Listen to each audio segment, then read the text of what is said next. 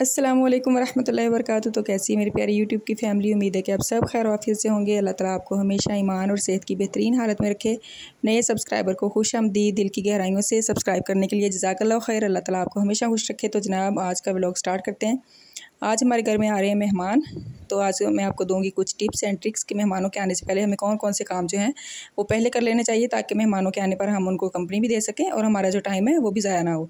वरना इस तरह होता है कि मेहमान आते हैं तो हम कामों में लगे रहते हैं खाना बनाने में या और जो इस तरह के काम होते हैं तो उनमें लगे रहते हैं। तो आज मैं आपको बताऊँगी कि आपको क्या क्या काम पहले करने हैं। सबसे पहले मैंने घर की अच्छी तरह से सफ़ाई कर ली थी, उसके बाद मैंने कपड़े प्रेस कर लिए थे, उसके बाद मैंने जो जो चीज़ें बनानी थी उनके हिसाब से जो जो मुझे चीज़ें चाहिए थी वो मैंने मंगवा ली थी।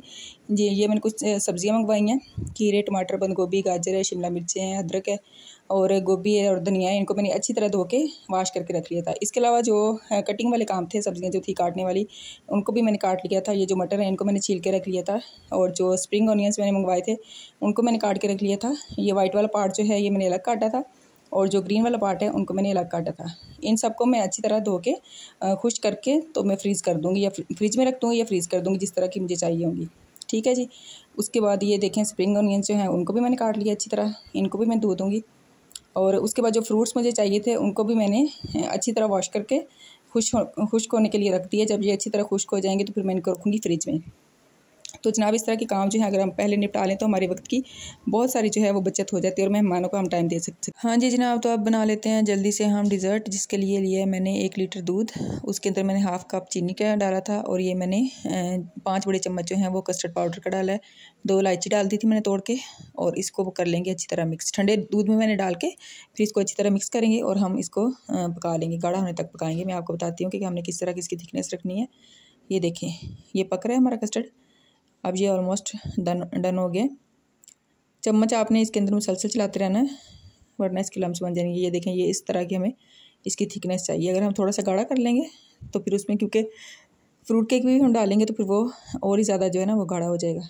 ये देखें, अब इसको हमने ठंडा कर लिया। ठंडा करके इसके अंदर मैंने डाला है एक बड़ा सेब और तकरीबन हाफ़ कप जो थे, वो अंगूर थे, वो मैंने डाले अब इसके अंदर हम डालेंगे बनाना और बनाना डाल के इसको हम रख देंगे साइड के ऊपर। ये देखें, ये मैंने बनाना इसके अंदर डाल दिया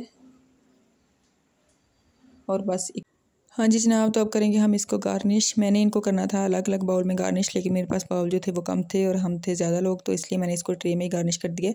ये देखिए, मैंने सबसे पहले कस्टर्ड डाला है, उसके ऊपर मैंने ये फ्रूट केक जो था, इसके मैंने क्रम्स बना लिए थे। छोटे छोटे चूरा चूरा इनको कर लिया था, वो मैंने डाला इसके ऊपर ये है डार्क चॉकलेट, ये डालूँगी थोड़ी सी और इसके ऊपर फिर से मैं डाल दूँगी कस्टर्ड। ये देखें, अब इसके बाद दोबारा कस्टर्ड डाल दूँगी। इंशाल्लाह आहिस्ता आहिस्ता मैं आपके साथ सारी वीडियोज़ जो हैं वो शेयर करूँगी।